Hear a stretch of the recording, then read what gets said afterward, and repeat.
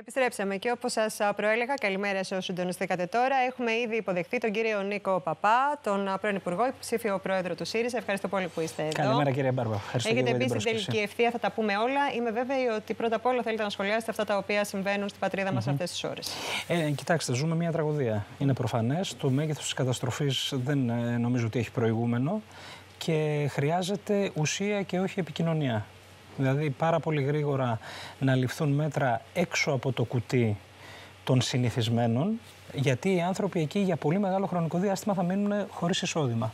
Δεν πρέπει να ακούγεται στη δημόσια σφαίρα ότι υπάρχουν πράγματα που δεν γίνονται, διότι για παράδειγμα η ρητινοπαραγωγή στην Εύβοια μετά την καταστροφή είχαν εγγυημένο εισόδημα από το κράτος, έτσι δεν είναι; Κάτι αντίστοιχο πρέπει να συμβεί και τώρα. Πρέπει να ανακατευθυνθούν γρήγορα τα κονδύλια του Ταμείου Ανάκαμψης, να στηριχτούν οι επιχειρήσεις και θα σας έλεγα, επειδή άκουσα, είδα και ρεπορτάζ και ε, στο δικό σας το κανάλι, ότι υπάρχουν και πληστηριασμοί και αναγκαστικές εκτελέσεις στην περιοχή.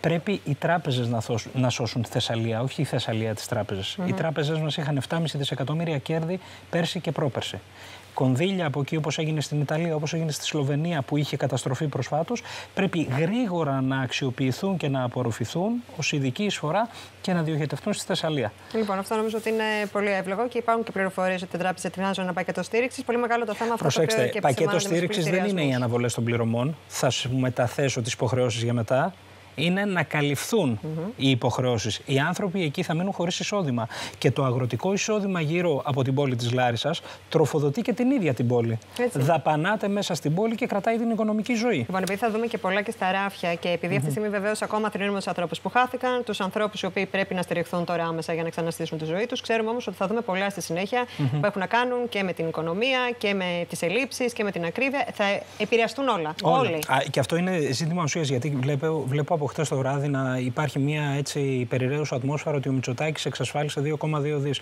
Δεν έχει εξασφαλίσει τίποτα. Πήρε τα κονδύλια τα διάθετα από την προηγούμενη ΚΑΠ και το Ταμείο Συνοχής και τα μετέφερε. Αυτό έγινε, δεν έγινε κάτι άλλο. Και με την προπόθεση ότι οι χώρες θα συμφωνήσουν να αυξήσουν το Ταμείο Αλληλεγγύης, μπορεί η έξτρα χρηματοδότηση της χώρας να πάει στα 400 εκατομμύρια ευρώ. Δηλαδή, από όλο αυτό το κονδύλιο που ακούσαμε, τον 2,2, τίποτα από αυτά δεν είναι καινούριο; Όχι. Είναι μόνο δυνητικά 400 εκατομμύρια τα οποία θα προκύψουν εάν συμφωνήσουν οι χώρες να αυξηθεί το Ταμείο Αλληλεγγύης. Έχει κάνει μια πάρα πολύ έτσι, λεπτομερή ερώτηση στο Ευρωκοινοβούλιο ο Πέτρος Οκόκαλης. Τα λέει όλα. Εδώ χρειάζονται απαντήσεις. Και χρειάζονται απαντήσεις και για άλλα πράγματα. Διότι εάν αποδειχθεί μάλλον θα υπάρχουν εγκληματικές ευθύνες.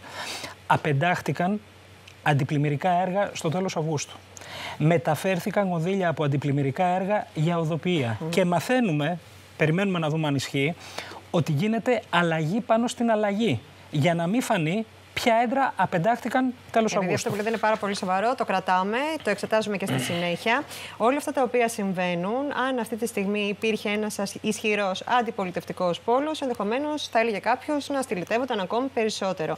Όλη αυτή η ισοστρέφεια που έχει δημιουργηθεί μέχρι να βρείτε mm -hmm. κι εσείς που πάτε ως κόμμα. Ε, θεωρείτε ότι σας έχει στερήσει από αυτό τον αντιπολιτευτικό λόγο, ο οποίος θα έμενε και στις συνειδήσεις των πολιτών, πολλοί από αυτούς επιδιώκεται να έρθουν και στις δικέ σας κάλπες, 17 του μήνα. Κοιτάξτε, καταρχήν θέλω να πω ότι ο Σοκράτης ο Φάμελος, ο οποίος ε, είναι ο μεταβατικός πρόεδρος της κοινοβουλευτικής μας ομάδας, έχει κάνει μια άριστη δουλειά. Δεύτερον, είναι πάρα πολύ λογικό ότι όταν ένα κόμμα βρίσκεται σε διαδικασία μετάβασης, θα υφίσταται τις συνέπειες τις οποίες εσείς ε, περιγράψατε. Όμως από αυτή τη διαδικασία, και εγώ το αισθάνομαι και στις περιοδίες και στις συγκεντρώσεις που κάνουμε, mm αναζωογονείται η συμμετοχή μας. Δηλαδή, είναι μια διαδικασία η οποία αναγεννά τις διαδικασίες στο κόμμα μας, φέρνει τον κόσμο που παρακολουθεί του ΣΥΡΙΖΑ και συμμετέχει στα πράγματα του ΣΥΡΙΖΑ μπροστά σε στρατηγικές επιλογές και αυτό είναι καλό για τη δημοκρατία. Και έχουμε κάνει και την αυτοκριτική μας, ξέρετε, γιατί καθυστερήσαμε να κάνουμε συμμέτοχα τα μέλη μας στις διαδικασίες mm -hmm. εκλογής ηγεσίας. Ενώ Πασό και Νέα Δημοκρατία πολλά χρόνια πριν προχώρησαν σε αυτέ τι επιλογέ. Και δεν θα πάτε και στη ΤΕΘ εντωμεταξύ. Ναι, εκεί έχει προκύψει ένα πρόβλημα. Θα δούμε ποια θα είναι η τελική μας στάση.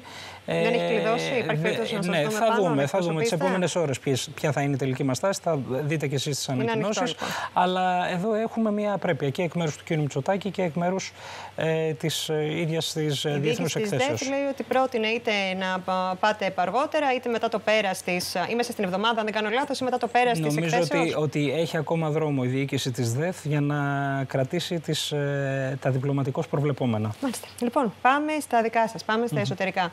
Υπάρχει μια περιραίουσα ατμόσφαιρα, θα, εν πάση περιπτώσει, από συγκεκριμένα μέσα, mm το αισθάνονται οι πολίτες. Εσείς θα μου πείτε τι πιστεύετε.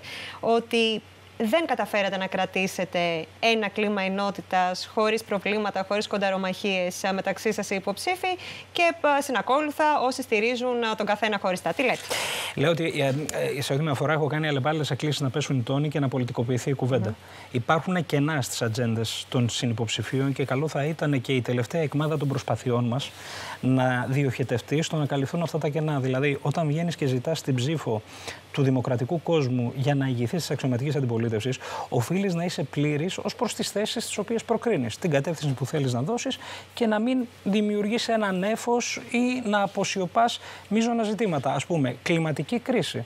Δεν τους έχω ακούσει όλους τους υποψηφίους να λένε τι πρέπει να κάνουμε. Υπάρχουν ε, ε, κομμάτια στα οποία ας πούμε, δεν τολμούν να πάνε. Ε, δεν, ε, δεν θα ήθελα να σκεφτώ κάτι τέτοιο. Ελληνοτουρκικά δεν έχω ακούσει από τους συνυποψηφίους ποια πρέπει να είναι η θέση μας σε σχέση με τη συμφωνία που ετοιμάζει ο κ. Μητσοτάκης. Άρα, τι λέω εγώ. Λέω ότι πρέπει να πολιτικοποιήσουμε την κουβέντα έσως σε αυτά τα 3-24 ώρα, να μην αναζητούμε αφορμές με κάτι που γράφτηκε στο διαδίκτυο για κάποιον από κάποιον, για να κλιμακώνουμε μία αντιπαράθεση και να υψώνουμε διαχωριστικές γραμμές οι οποίες απέχουν από τις πραγματικά διαφορετικές μας προσεγγίσεις πάνω σε ναι. βασικά ζητήματα και νομίζω ότι αυτό θα είναι θετικό και ως μήνυμα προς τον κόσμο που καλούμε να έρθει, έτσι, γιατί εκεί είναι το μεγάλο στοίχημα. Δεν το συζητώ. Πάμε όμως τώρα, επειδή υπάρχουν δηλώσεις οι οποίες είναι δηλώσεις φωτιά. Ναι. Δεν μπορείς, ειδικά όταν προέρχονται από συγκεκριμένους ανθρώπους ναι. που έχουν και συγκεκριμένη βαρύτητα. Όλοι οι σεβαστοί, mm κάποιοι όταν μιλούν δίνουν το κάτι παραπάνω. Θα τα πάρουμε λοιπόν με τη σειρά. Θα ξεκινήσω όμως πριν από αυτό με την επιλογή του συνυποψηφίου σας, τον υποψηφίου σας, του κ. Κασελάκη, να μεταβεί στη Μακρόνισο. Είναι κάτι το οποίο έχει συζητηθεί ήδη αρκετά. Θα βγάλω από μέσα την παράμετρο ότι δεν πήρε τις πρέπουσες άδειες κτλ. Πήγε εκεί, πήγε με τον ε, κύριο Αποστολάκη. Ε, Πώς σας φάνηκε σας Νομίζω ότι η ιστορία της Μακρονήσου ανήκει σε όλους μας. Δεν μπορώ να διανοηθώ ότι κάποιος ε, ζητάει, ως, ζητάει την ψήφο των μελών ή των στελεχών ή του κόσμου του ΣΥΡΙΖΑ επειδή έχει ως διακριτικό χαρακτηριστικό, διακριτό χαρακτηριστικό από τους άλλους συνυποψηφίους, το ότι αισθάνεται και συναισθάνεται την ιστορία της Μακρονήσου. Αυτό δεν, δεν μπορώ να το ε, υποθέσω. δεν, δεν μπορώ να το υποθέσω. Ε, εντάξει, τώρα ο καθένας κάνει τις επιλογές του. Εχθές κάνατε μια πάρα πολύ σκληρή δήλωση. Μεταξύ mm-hmm. άλλων, μιλήσατε για χυλούς, μιλήσατε έτσι, χρησιμοποιήσατε μια συγκεκριμένη φρασιολογία που δεν την έχετε και συνηθισμένη. Ναι. Τι εννοούσατε; Κοιτάξτε, έχουμε δει να ξεδιπλώνονται απόψεις οι οποίες ε, πραγματικά ε, ξενίζουν. Δηλαδή, ε, απόψεις οι οποίες παραπέμπουν σε ένα κόμμα που έχει έναν ηγέτη ο οποίος δεν λογοδοτεί πουθενά. Δεν μπορεί να είναι αυτό το πρότυπό μας. Και απόψεις βεβαίως οι οποίες παραπέμπουν ε, ευθέως στο κακό, για να μην πω στο χειρότερο δικό μας παρελθόν, στον κακό και χειρότερο δικό μας εαυτό, όπου ε, περιγράφουν ένα κόμμα στρίδι, ένα κόμμα κλειστό, ένα κόμμα το οποίο δεν αφήνει διαμέσω των δομών του τα μέλη του να εκφραστούν. Ωραία, τώρα μέσα από αυτήν την ορολογία, εσείς προφανώς φωτογραφίζετε διαφορετικούς ε, Προφανώς. Προφανώς. Νομίζω στο, είστε στο ρεπορτάζ, είστε πάρα πολύ έμπειροι. Θέλω να αποφεύγω να ονοματίζω. Ε, είναι η προσπάθεια που κάνουμε από την αρχή να πολιτικοποιήσουμε την κουβέντα. Έχουμε όλοι θητεύσει και υπουργοί στην κυβέρνηση Τσίπρα 15-19 και ήμασταν και στις, στα κορυφαία όργανα λιγότερο ή περισσότερο την περίοδο 19-23. Άρα έχουμε την πολυτέλεια να συζητάμε για τα λάθη μας χωρίς να εκτοξεύουμε βέλιο ένας τον άλλον. Όμως εδώ διατυπώνονται απόψεις. Και ο κόσμος που μας παρακολουθεί είναι μπροστά σε πάρα πολύ κρίσιμες επιλογές. Βλέπω και ένα κλίμα πάρα πολύ διχαστικό η δική μας προσπάθεια θα συντείνει στο να πάμε ενωμένοι στη διεύρυνση και το λοιπόν, μετασχηματισμό. Λοιπόν, το κλίμα το λέτε. Γιατί ναι. η ενότητα για εσά τώρα είναι ε, τεράστιο κρίσιμο. Δεν θα με πιστεύατε άμα σας έλεγα ότι δεν το βλέπω. Και δεν περίμενα να μου πείτε έτσι την αλήθεια. Έτσι. Λοιπόν, μιλάμε για την ενότητα που είναι το ΑΠΑ. Εσείς έχετε δηλώσει ότι ό,τι και να γίνει παραμένετε ΣΥΡΙΖΑ, ότι έχετε γεννηθεί πολιτικά μέσα στο ΣΥΡΙΖΑ. Τι βλέπετε για τους άλλους; Η ενότητα είναι το μέσο. Η ενότητα είναι το μέσο για να πετύχουμε τους συνολικούς μας σκοπούς. Για να αποκαταστήσουμε την ενότητα με το λαό. Διότι το να ε, είμαστε ενωμένοι και άφτανδρο το καράβι μας να βυθιστεί δεν είναι το ναι. επιθυμητό. Αυτό που πρέπει να κάνουμε είναι να έχουμε σαφή κατεύθυνση, να κρατήσουμε ευρύχωρο το καράβι μας και να τραβάμε όλοι κουπί όμως προς την ίδια μεριά. Ε. Άκουσα όμως και την κυρία Γεροβασίλη να δηλώνει ότι στην πράξη, να το πούμε και απλά, και να φύγει κανένας δεν πειράζει, θα προχωρήσουμε. Νομίζω η Όλγα Γεροβασίλη είναι πάρα πολύ εμπειρή και έκανε μια δήλωση η οποία είναι ιστορικά δικαιωμένη. Με την έννοια ότι όταν αποχώρησαν βουλευτές με την ε, λαϊκή ενότητα, με τον κύριο Λαφαζάνη, ήταν μια διαδικασία η οποία ήταν μια διαδικασία βίαιση ορίμανσης και για το ΣΥΡΙΖΑ και ήταν μια διαδικασία η οποία θα σας έλεγα στήριξε τη χώρα. Διέσωσε τη χώρα, την έβαλε, έβαλε τις ράγες για μια προοδευτική διέξοδο ε, και δικαιώθηκε και ιστορικά. Διότι ε, εντάξει, είμαστε εδώ που είμαστε, αλλά ε, δεν πρέπει να ξεχάσουμε ότι το 2019 με όλο το βάρος των δύσκολων πολιτικών που ναι. εφαρμόστηκαν, με όλο τον πόλεμο που υπέστη η παράταξή μας, πήραμε 32%. Λοιπόν, και, και αυτό το 32% δεν το αξιοποιήσαμε σωστά. Έτσι αποδεικνύεται λοιπόν. Αυτό πρέπει να το πούμε. Αλέξης Τσίπρας είναι ο άνθρωπος με τον οποίο συνεργαστήκατε πάρα, πάρα πολύ στενά. Ήσασταν αυτή η κυβέρνηση, η πρώτη φορά που έγινε ο ΣΥΡΙΖΑ κυβέρνηση. Αυτό το αναγνωρίζουν όλοι. Κάποια στιγμή εξαφανίζεται από το προσκήνιο. Φαίνεται να κρατά την ουδετερότητα. Ξέρουμε ότι δεν υπάρχει δαχτυλίδι στον ΣΥΡΙΖΑ. Αλλά ξέρουμε επίσης ότι και εκείνος, όπως και όλοι, κάποιος στηρίζει. Είναι άκομψη η ερώτηση. Θα σας το πω όμως, επειδή έχετε ναι. διάθεση να μιλήσουμε ειλικρινά. Ενίοτε βγαίνει το ρεπορτάζ ότι στηρίζει Αξιόγλου, ενίοτε ότι στηρίζει Κασελάκη.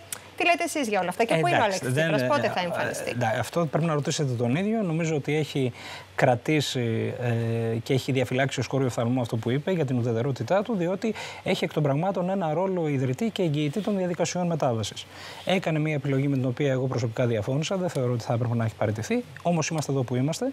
Και ξέρετε, η ιστορία δεν σε ρωτά αν έχεις όρεξη ή αν αντέχεις, σε καλεί να αναλάβει ευθύνες. Αναλαμβάνουμε λοιπόν την ευθύνη για να ξανασηκωθεί η παράταξη και να γίνει πλειοψηφική.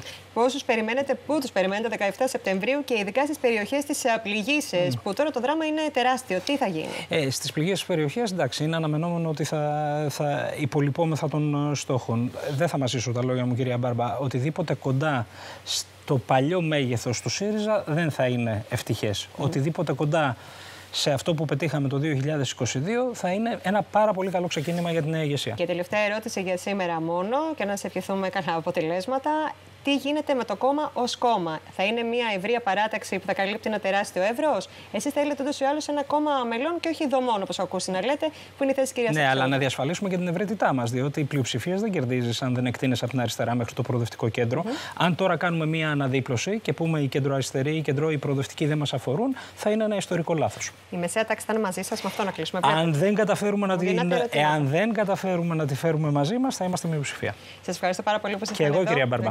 Ο κυρία Νίκο Παπά, κυρίες και κύριοι.